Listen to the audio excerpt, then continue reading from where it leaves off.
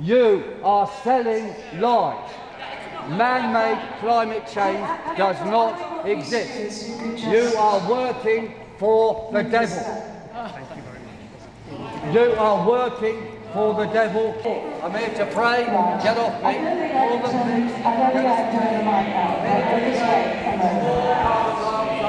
That is the gas of life that was given us by God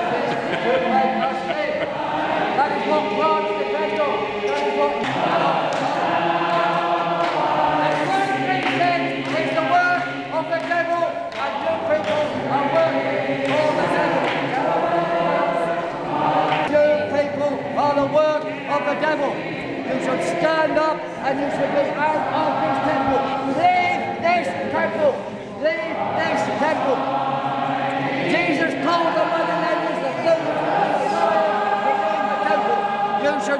All you can do is see. I know some of you are listening and you will not. You won't stand up now because you're scared. But you get out there. Please, please. We want God on our side. You're doing the work of the devil. Follow temperatures, not the other way around. You are working for the devil.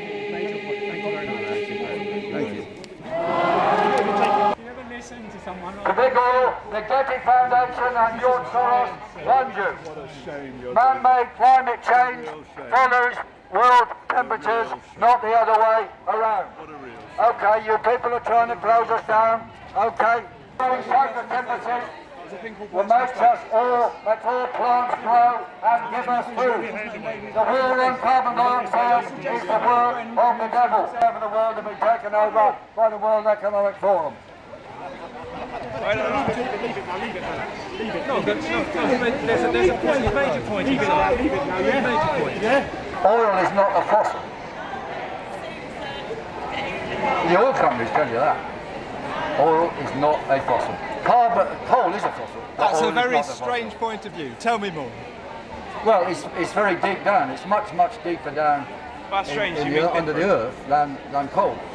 Uh, Piers Corbyn, what, what was your intention here today? You uh, pretty much invaded that church service. We did, yes. We went in there to uh, put across the truth to these uh, Christians or wannabe Christians or pretend Christians, I don't know what, but to point out that they are doing the work of the devil. And Jesus threw these sort of people out of the temple in Jerusalem at the Passover. Can I speak to you? Ask you why you're with XR, I'm guessing. Yeah, I think Jesus is calling us to do something about the rapidly rising temperatures, the numbers of people being hit by floods, droughts, and storms around the world, especially the world's poorest people who did the least to cause this. So we need to pray, we need to encourage each other, but most of all, we need to tell the government to move faster. Does Piers speak any sense at all? Uh, insofar as I understood it, no.